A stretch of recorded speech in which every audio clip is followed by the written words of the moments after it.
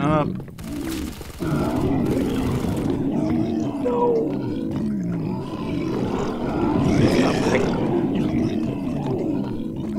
Imagine if after all this,